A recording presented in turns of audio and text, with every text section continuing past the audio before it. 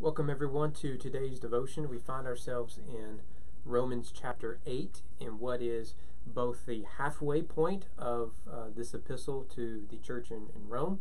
It is also perhaps the the uh, most popular chapter in the book of Romans. Everyone who who, who loves Romans probably has their own uh, chapter that they love the most. Mine's probably chapter six, um, but, but, this is probably the one that's quoted the most um, at least in terms of larger sections, and it's the one people seem to go back to the the most. And what we need to see is is as we've argued, the first three chapters lays out the foundation of of the universality of sin. We're all guilty of sin, Jew or Gentile, male or female, uh, black or white, Republican, Democrat, or whatever, however we, we may uh, identify ourselves. We, uh, we, we are guilty we stand condemned before God.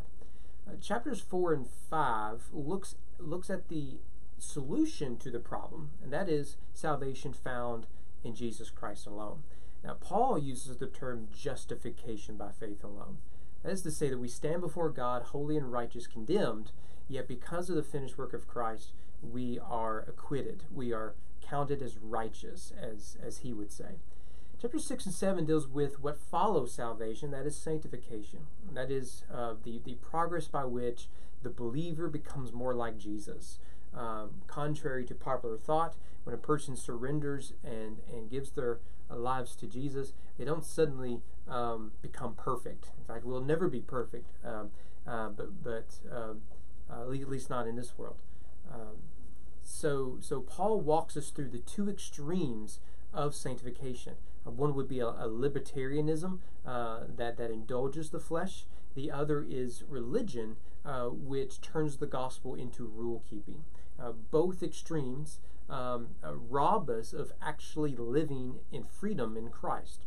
Um, chapter 8 continues that conversation. So we're still talking about sanctification, uh, but he's much more specific. Um, if, if, I were to, to, to use one word to for, in terms of, uh, of a doctrine to describe chapter 8, I think the word would be adoption. The doctrine of adoption deals with both justification, how we're saved, and sanctification. What does it mean to live as being saved? Um, but but it isn't a general category like we get in chapter six and seven. Rather, he's much more specific. Because we are adopted, this here's some practical points we have in our life. And one of the key themes of chapter 8 in the context of the doctrine of adoption, which is found in the middle of the chapter, is the issue of suffering. What does it mean to live as a believer amid suffering. So, as you can imagine, this is a timely chapter considering our context, that, that we're still viewing this through uh, the medium of, of lockdown. Um, yes, restaurants are opening up. Yes, businesses are opening up. Yes, even our church is opening up. But at the same time, the message we're hearing is though the economy is opening up, stay away from people. Uh, uh, it is dangerous out there, um, and, and we don't know what the future looks like in terms of our economy, our world, or anything like that. So, this is a very timely chapter amid our current uh, crisis. Um, but though it's about adoption, it's about adoption because it's about the gospel. Every chapter in Romans is about the gospel. Of course, I think every chapter of the Bible is ultimately about the gospel. So notice what he says about the gospel, and and uh, we'll, we'll we'll bring in themes of adoption as as it happens. First of all, the gospel sets us free. Notice how this chapter begins. In fact, if you were to pick one verse in this chapter to highlight, memorize, I think verse 1 is, is a good option for that. There is now no condemnation for those who are in Christ Jesus. So simple and yet so profound and very practical. If you are in Christ, there is no condemnation over you. Nothing. So if you are condemning yourself, if you're living in anxiety and stress, uh, if you feel guilty and shame, then then you do so unnecessarily because there is now no condemnation of those who are in Christ Jesus.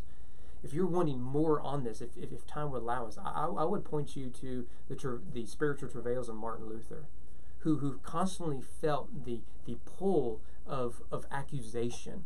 Um, that, that he was he was unworthy. He was he was not not uh, God couldn't use him and he's just a filthy sinner and all this sort of stuff. He, he felt constantly the words of accusation upon him. He would return back to Paul here in Romans 8 1 there is no condemnation of those who are in Christ Jesus. None at all. Right? And that is really a, cli- a climax of everything we've seen in the first seven chapters isn't it Though we are guilty and we stand condemned, we are hidden in Christ, who is making us like him. There is therefore no condemnation of those who are in Christ Jesus. But notice what else, he says about the freedom we have in Christ. He says there, verse 2 For the law of the Spirit of life has set you free in Christ Jesus from the law of sin and death. Remember, everything he has said about the law, the law condemns, Christ redeems. That's his point, is that if all you're going to do is keep rules, what you're going to find is death in those rules. What you're going to find is bondage in those rules. But in Christ you find freedom. Verse 3 For God has done what the law, weakened by the flesh, cannot do. Remember, we talked about this yesterday. That, that though there is the law, we we can't keep it perfectly because of the flesh. Right? So so what we'll do is the law may may make our desire stronger. Remember Dennis the Menace, you know, don't don't push the, the button or um, or it, it demonstrates our just inability to, to be perfect. What we need is a Savior. So, God, uh, what has He done with the law? He's done what we could not do by sending His own Son in the likeness of sinful flesh and for sin. He condemned sin in the flesh in order that the righteous requirement of the law might be fulfilled in us, who walked not according to the flesh, but according to the Spirit. In other words, if, if the law demands perfection in order to be stand in the presence of God, and if we can't be perfect, what's the answer?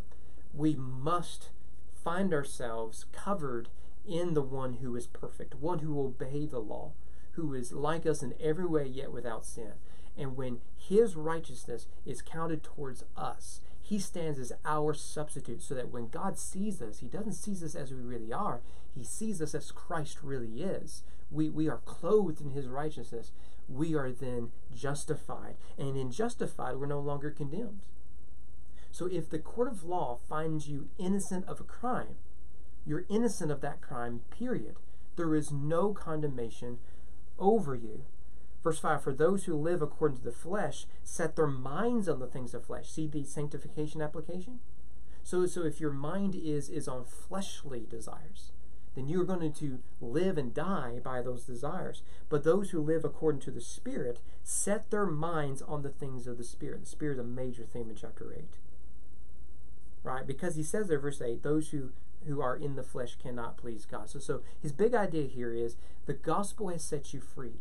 Therefore, you are not constrained by the, the regulations of the law, nor are you constrained by the regulations of the flesh. You are free you are free indeed. The gospel does this. Now, what religion wants you to do is to err on the side of ritual and rule keeping.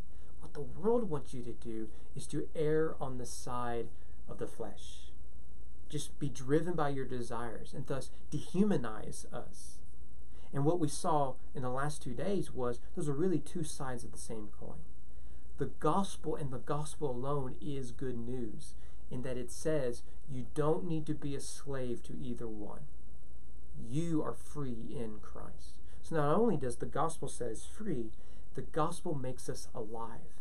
Death has been a major theme in the book of Romans. As, as bondage and slavery has, so has death. In that the law condemns us to death, right? So does our unrepentant desires. The wages of sin is death, he said at the end of chapter 6. Well, in verse 11, he says, If the spirit of him who raised Jesus from the dead dwells in you, he who raised Christ Jesus from the dead will also give life to your mortal bodies through his spirit who dwells in you. I just want to make a brief application here. I believe this application is not only eternal, the day will come when, when God will glorify our bodies and we will be embodied beings in heaven. So if you think heaven is us floating on the top of clouds as chubby cherubim with small wings, how those wings carry such such large babies, and then all we do is play harps, um, that's not right. right? I mean, you're not getting that from the Bible. Um, some dude made that up in order to sell uh, little porcelain dolls or something. I don't know. Um, right? That's not what the Bible says. The Bible describes a new creation, a new heavens, a new earth, a new Jerusalem, to where embodied beings, not disembodied, we're not just going to be spiritual beings, we are embodied beings, so we can touch and taste and feel and enjoy in much the same way we do now, yet we won't be doing so in a fallen creation. Right? So, so Paul says, look, the God, the Spirit, who, who, who raised Jesus mortally from the grave, will do the same for us. So that is an eschatological hope. That is a hope that we have for the end of the world. Yes, and it may it come quickly, our resurrected bodies. At the same time, we err in thinking that the hope of salvation is still future. Look, I'm saved now. I got my fire insurance so that when I stand on the day of judgment, um, I won't go to hell, or I'll go to heaven. If that's all the gospel is, then you're robbing yourself of the fruit of the gospel. I believe Paul here is talking more than just our hope after we die. He's also talking about the hope now that we are alive. Because throughout this, this, this epistle, he describes those living in sin as dead. It's the dead works that we saw in chapter 6. And that what sin de- does is, is, is, it, is it kills us. He'll use the same language, for example, in Ephesians chapter 2, that, that um, that that that we were risen from the dead. We're you know uh, not literally but spiritually, and so so death is often described in spiritual terms to describe our life living in sin apart from Christ. Thus, that means that those who are in Christ truly live, truly live. And so when we think of eternal life, yes, we should think of the joy and the peace and the love and the happiness and the contentment and all of that that we, we long for there in a very real sense, that is ours now. This is why the book of Philippians is about joy in the present, not just joy in the future. That's why the Bible talks about love, not just in the love of God we'll experience in the future, but the love of God that we can have now. The peace of God that we saw in chapter 5 is something that we can have now, not just something that we wait for later. The God who raised Jesus from the dead, so he raises us from the dead. And we can enjoy living in Christ. Well, the gospel also makes us sons. I told you it's right in the middle. Verses 14 through 17, I think, is really the key idea of, of chapter 8. He says, verse 14, For all who are led by the Spirit of God are sons of God. For you did not receive the spirit of slavery to fall back into fear, but you received the spirit of adoptions as sons, by whom we cry, Abba, Father. The word Abba is often said to mean, uh, it's an Aramaic word to mean daddy. Um, and so what you see here is that through the doctrine of adoption, we've been orphaned by sin, abandoned by our, our, our, our, our, our would be fathers. Um, and it is God who stoops down in the person of Christ, wraps us in his arms, and draws us into his family so that we are children of God, joint heirs with Jesus. And that, that connection and love is so close that we refer to God as Abba, Father, as Daddy. Have, have you ever really considered the fact that we refer to the God of the cosmos as Father? And you can already see how he's connecting this, this idea of adoption with what he's already discussed. And so he says, We haven't received a spirit of slavery, and in the spirit of slavery, we fall back to fear. And the world of religion is, is driven by fear because how do you know you've done enough? Or the spirit of, of slavery is, is seen in libertarianism, right? Um, but, but we haven't been given the spirit of slavery, which leads to fear. Rather, we've been given the spirit of adoptions to fall into sonship. So that when suffering comes, when uncertainty comes, when questions arise, where do we begin? Abba, you see then how these first two themes of freedom and, and life come together in the doctrine of adoption. We were good as dead as orphans, but now he's made us alive as sons. We, so that we will dwell in the house of the Lord forever. And this bleeds right into verses 18 to 25, where he talks about how the gospel gives us hope. Verse 18 For I consider the sufferings of this present time are not worth comparing with the glory that is to be revealed to us. Another verse worth meditating on and highlighting in your Bible. The sufferings we have now pale in comparison to what awaits us in glory in the next life. Thus we live with hope. And to illustrate that, he talks about how the creation groans. He, they, it, it groans uh, for, for redemption. So too, we, do we not now groan for this redemption. He says, uh, verse 23, that, that, that uh, we, like creation, groan inwardly as we wait eagerly for adoptions as sons. Now, he just said we are adopted, but now he says we will be adopted. In the Bible, that's typical. It'll talk about our salvation as past, present, and future. We have been saved, we are being saved, we will be saved. So too, we have been adopted, we will be adopted. Why? Why? And then that is, so important for us, not just reading the Bible, but to think theologically about these things. He says that our adoptions as sons, the redemption of our bodies. For in this hope we were saved. Now, hope that is seen is not hope, for who hopes for what he sees? But if we hope for what we do not see, we wait for it with patience. That's been the struggle with the pandemic, isn't it? That we, we, we're having to learn patience all over again. Um, but but but through, but our hope is bigger than than waiting to go out to eat again. Our hope is final redemption of our bodies, our adoption as sons, and a renewed heaven and earth. We hope for that. We long for that. And in that hope, we believe that the world that awaits us is better than the world we live in. Thus, we can persevere with patience in this world. So we love our neighbor we tell others about Jesus, and we overcome the obstacles because what awaits us is greater than what we have. We live in that hope. After all, as sons and daughters of God, He will not abandon us.